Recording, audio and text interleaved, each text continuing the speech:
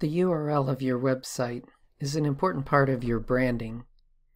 In this part of the lesson, we're going to take a look at some of the different ways that you can control the URL of your site.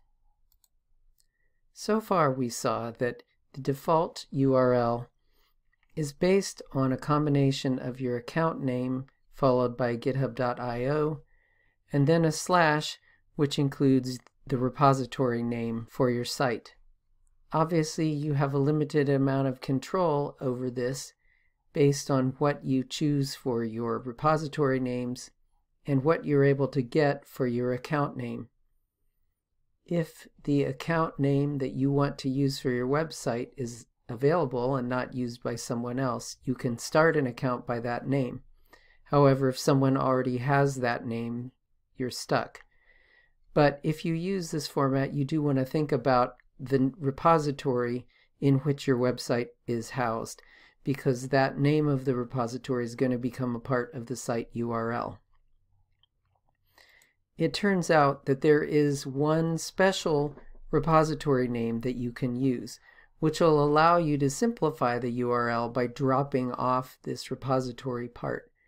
And the name of that repository is the name of your account followed by github.io. Obviously, there's only one repository you can create with that name within your account, and that's the one that will be used for this special URL. I can illustrate this with my website. Originally, I was only using Baskauf S as my username, and then I set up a second account under Baskauf to use for testing. However, I realized that for my website, I really wanted it to be baskauf.github.io, not baskauf.s. So I set up the repository baskauf.github.io within my Baskauf account. If you look at this, you will see that it is the modified theme that we looked at in the last section. So when it's rendered, instead of being baskauf.github.io slash baskauf.github.io, which is what it would be if we followed the pattern that we've seen before. It's just simply baskauf.github.io. There is actually a third option, and this is perhaps the best option if you're not able to get an account name that's as good as the one that I have. If you have a common last name, you're probably not going to get it because someone else probably already has it. However, if you go to a DNS provider like GoDaddy or any of the other ones that sell custom domain names, you can use that custom domain name within your GitHub website. It's a little bit complicated, but there are explicit directions on a linked page that will walk you through it. The overall idea is this.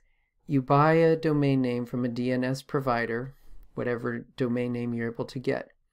And then in GitHub, on the pages setting page of the repository, you enter the custom domain name that you want to use.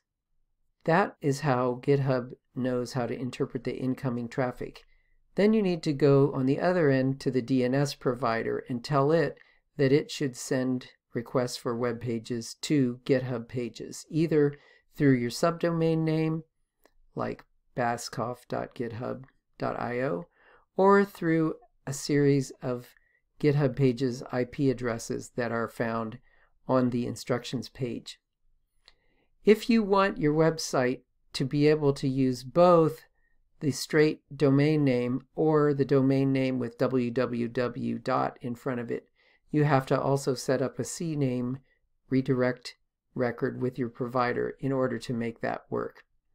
So it's a little bit complicated, but once you get it set up, it doesn't matter what your account name is or what repository name you use because for both of them, your custom domain name will be substituted.